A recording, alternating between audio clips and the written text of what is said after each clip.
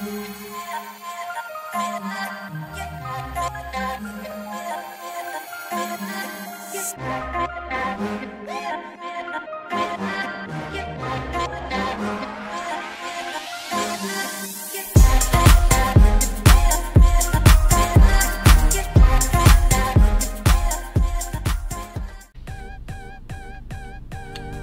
and welcome to another episode of Three Meals. And in this episode, we're going into the cookies and cakes uh, DLC sandbox. And we're to make three pretty easy to make uh, recipes. The baked donuts, we're to make bread and we will also make churros. We're to start off with baked donuts. Just to pin it over here. There we go. You can just scroll out like that. And as you can see, in the sandbox mode, you already have all these doughs here. I could just take this donut dough and be done with it, but that's not what we want to do. So what we're going to do is just yoink and toss those out. There's a trash can right there as well. Because we want to make it ourselves, obviously. You can even buy these uh, in the store, I believe. But what's the point in doing that? We're going to get 200 grams of butter first up and we're gonna go smell that for 60 seconds. Let's get this one as well. One minute on the clock. While we're doing that, we're also going to get step number two done. We're gonna just put that down here. Actually, we're gonna get the pastry flour, 400 grams. Hopefully we can get that just right. There we go. And for the sugar, we're gonna get the measuring cup, 150 grams. You don't have to do this like this, I just prefer to do it like so. And we'll add that to that as well. Alrighty. Now, we need to add two eggs, because one egg is 100 grams. Don't ask me why exactly uh, you don't have to like crack the eggs or anything. I don't know. We're also gonna get some vanilla extract while the butter is almost done. Let's quickly run over there. Put that down and turn off the fire. While we're getting ourselves some salt, two grams of that. Just be gone. Alright. And adding in the melted butter. Alright, that's in there. Now we need to use the uh, whisker. Um, however, sometimes that doesn't work. We'll see if it works this time. If not, we're just going to go with the paddle and we have to mix all this. As you can see, it's not doing anything. So what we're doing right now is taking out that, turning off the whisker, putting on the paddle, and then trying it again. And there we go. Now we have dough. For the next step, we have to get a pot and add, some whole milk and baker's yeast to it. Let's just move you over there and get a pot. The milk is in the fridge, the yeast is in the fridge as well. There we go. Let's get the milk first. 250 milliliters. I almost did that correctly. I don't ever take measurements too seriously, even though in this uh, game mode it might to be done exactly. Alright, we're trying to get one third of it now. Oh, that is not good at all. How much grams is that? 21 grams. Uh, okay, well, we're just going to do that. Can't really do much about it, unfortunately. And we have to put this on the fire for 60 seconds as well. When that 60 seconds is up, I will be back with you.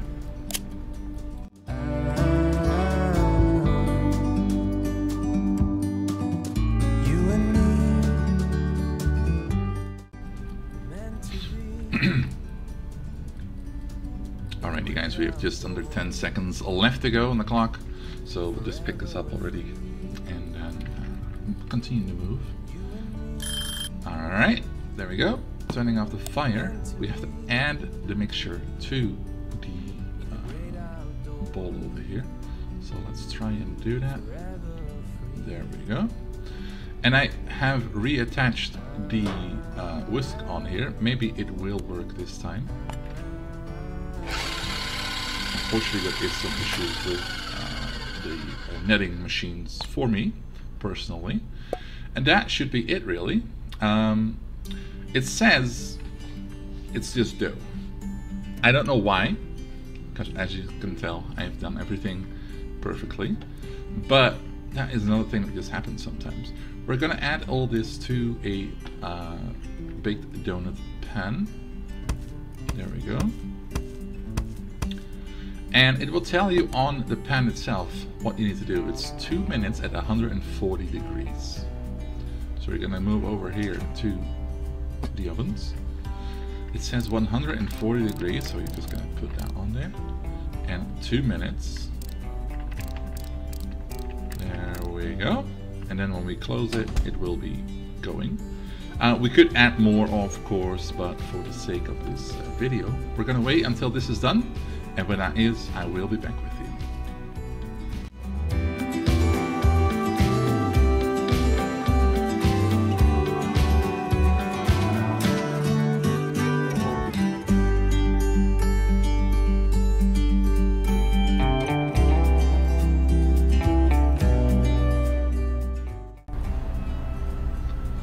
Alrighty guys, we have about 15 seconds left on those uh, donuts over there. I added some sprinkle candies over here because we're trying to get uh, the picture to look like what we're making as well. Uh, when this is done it will just turn off, you don't have to worry about it uh, overcooking or anything and you can simply take out that pan. So you want to move it over here a little bit uh, because first of all you're going to need to get this one uh, you can take them out by pressing E. You don't have to be on the exact donut as you can see. You can simply go roughly. There you go. You get the spatula and it looks pink, so we're trying to get it pink, right? It's a shame you have to do everything separately, but that's just how it is. Just make it like that. It still doesn't look like a donut if you ask me, but that is maybe just my personal opinion. Alright, that's all six of them done. And of course we need to get that uh, sparkle here, sprinkle, sparkle, sprinkle, same thing for me. And we'll just get that out. And then you can adjust the, uh, once you click them, you can adjust the size of uh, the circle by just scrolling your mouse, like you can go really big, you can go small. I like to keep it a little bit smaller than the actual thing. But now it doesn't look like anything went on it, looks like it all went next to it. So we'll just make it bigger. Unfortunately, we have to do it like that. This is another thing I am not too thrilled about just yet with this DLC. It doesn't look like any sparkles went on it, even though there is sparkles on there. As you can see, the special on it says 6% um, hashtag birthday, and that is because of the sprinkles. Now, we're just gonna get one of these rotating plates, so we can pick all these up. And we will put those over here, so they can be sold at a later point. Alright, that is the baked donuts done. As it, you can tell, it doesn't say it is a baked donut. It says homemade. Don't ask me why, because we did these steps exactly. And that is just how it has been for me ever since this DLC came out. Now the bread, the bread is something else. The bread is pretty easy to make, but let's continue with that. Let's go and scroll back. All right, we are going to have to need an empty bowl, so we're just gonna empty that out. Just click once on it. If you click twice on it, you might break game. Don't do that. We need 500 grams of pastry flour. So let's go with that. Perfect. Now we need some salt and some yeast. And we still have yeast here. Um, we're gonna get the salt in first. I always want to do it exactly as it tells me to do it in steps. Because that way I know for sure I'm not messing anything up. You straight. Alright. So here we still have, uh, let's say 80 grams. And we need 30 grams. So we're just gonna need a little less than half of this. that is 30. I actually definitely cut it right between. Alright, let's just try and see if we can slice apart. There, 28 grams, perfect. The other one is 27. Alright. Now we're going to use the paddle again apparently. So let's go with that. We're taking off that one, we're putting the paddle back on, putting that on there. And as you can see, it's not a whole lot happening, but why would it? It's just flour with salt and yeast. So it shouldn't really have like a dough mixture already. So, so far, so good. Now, we're gonna add the water and olive oil to this same bowl. We have water here. You could get water from there, but why would you? You have it in a bottle, and that's way easier to manage. 200 milliliters.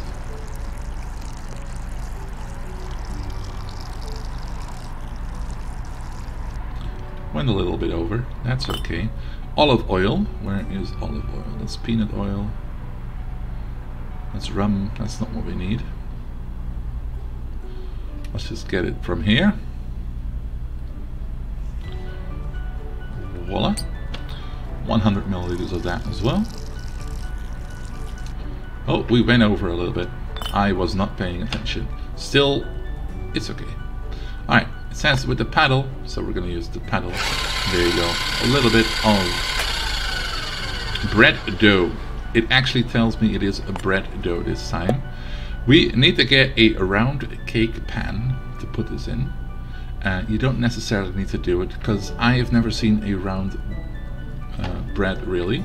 I would basically, if it, if it was up to me, I would put it in one of these straight ones. Uh, of course, I don't see any right here right now, but you have straight ones as well. Uh, but for the sake of what it tells us to do, we're just gonna get bread dough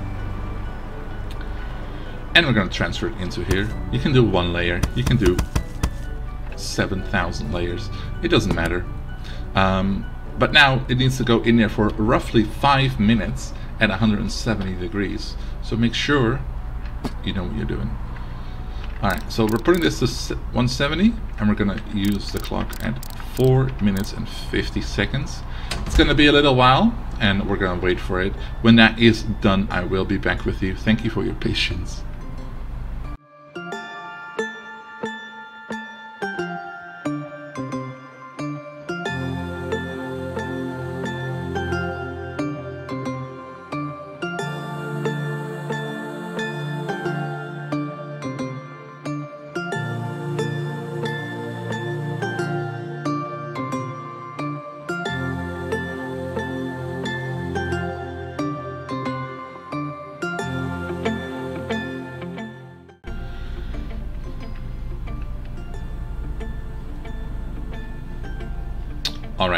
Welcome back. As you can tell, I did not just make this one, I also found the uh, straight pan over here. It didn't have to go in as long, so this one's going to be done before this one, 14 seconds compared to almost 2 minutes. Again, you don't have to worry about the ovens really much. It is going to turn off by itself. So I've done this one, we're going to wait for that one, and we're going to take it out. As you can see, now we have bread in here.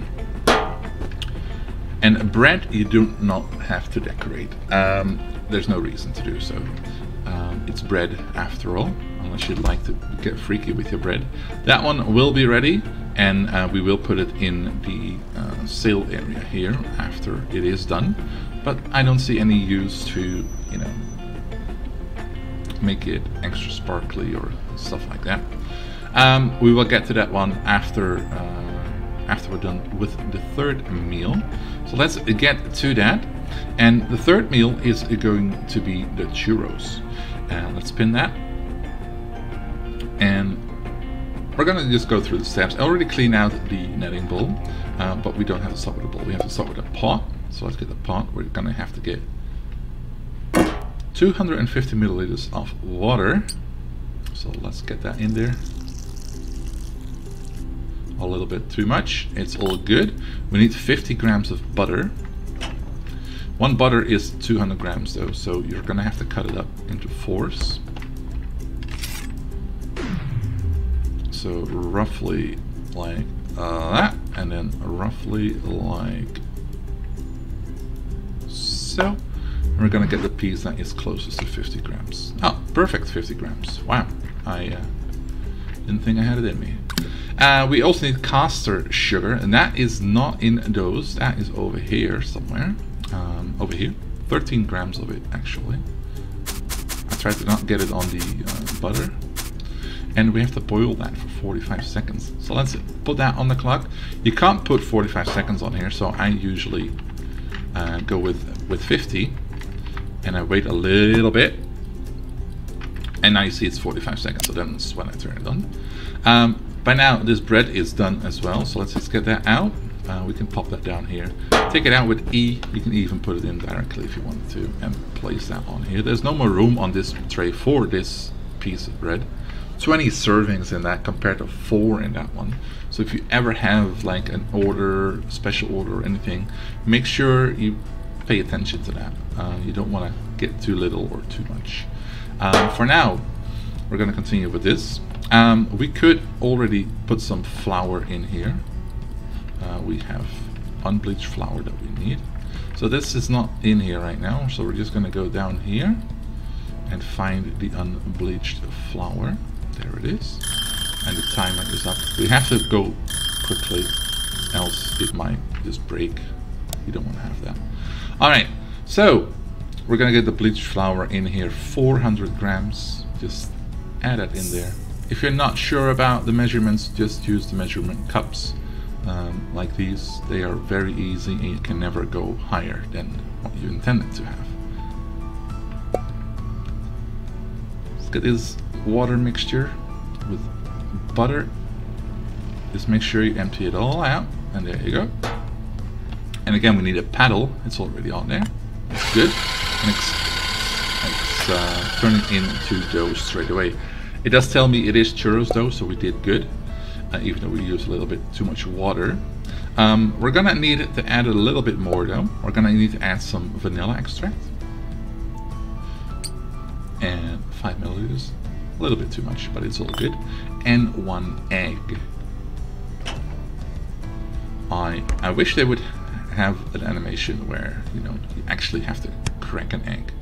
Uh, you do have that little thingy over here where the, the yolks uh, and egg whites are being split, but you don't really have to do it. Alright, we're gonna mix that as well with the paddle.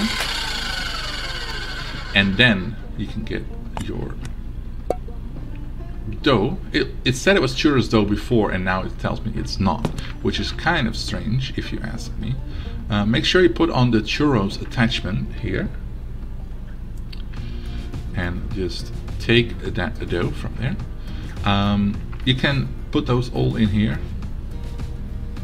Just gonna have to click continuously.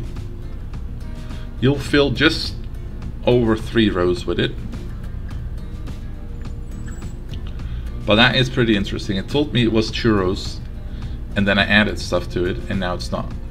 So tell me the reasoning behind that. I don't have it. Alright, should almost be done. We should have three more. And then tells me it's done. Alright, and on this one it will tell you how long to fry it for. 1 minute and 50 seconds. So we're gonna get the timer. But first we're gonna fill this up and turn it on. It's not in yet, as you can see, it's not lowered yet. So we're gonna put the clock to 1 minute 50 seconds and then quickly turn these on. And it will lower itself and when that 1 minute 50 is up, I will be back with you.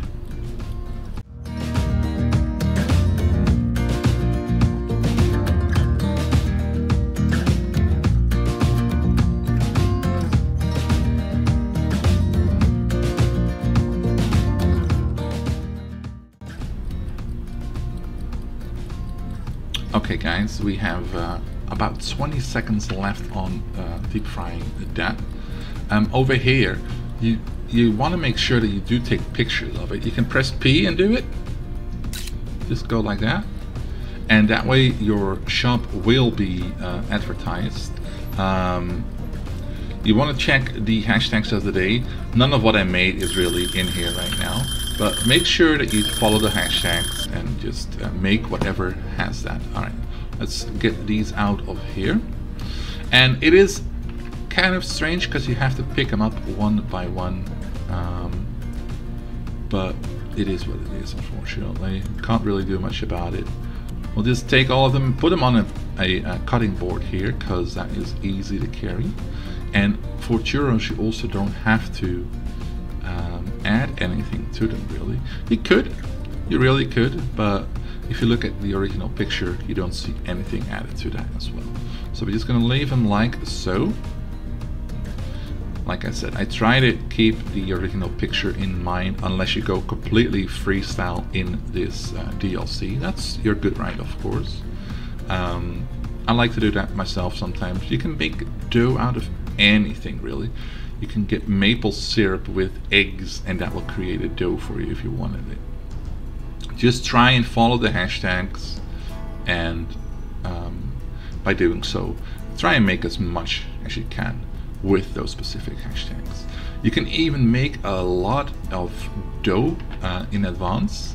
Uh, just make dough for everything um, and then eventually um, just sell everything in one day by oh I, I turned those all down again I did not mean to do I meant to do so and so let's get those up again alright so we have a cutting board full of churros here and we're just gonna place those in here like so.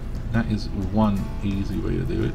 You could decorate them all but I don't really see the point in doing that. You can add other ingredients as well.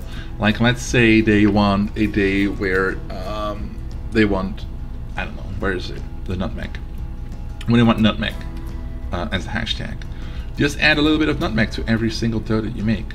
Um, ginger if you have a Christmas spicy or ginger day, just add a little bit of ginger to every dough that you make. You don't have to have it being called bread or donut. This is called homemade. This is probably called homemade as well. Yep, it is. But that's okay, as long as you follow the hashtags. For now, this is my three meals episode of cookies and cakes. We might make another one. We might go back to the normal sandbox. But for now, thank you very much for watching and see you next time.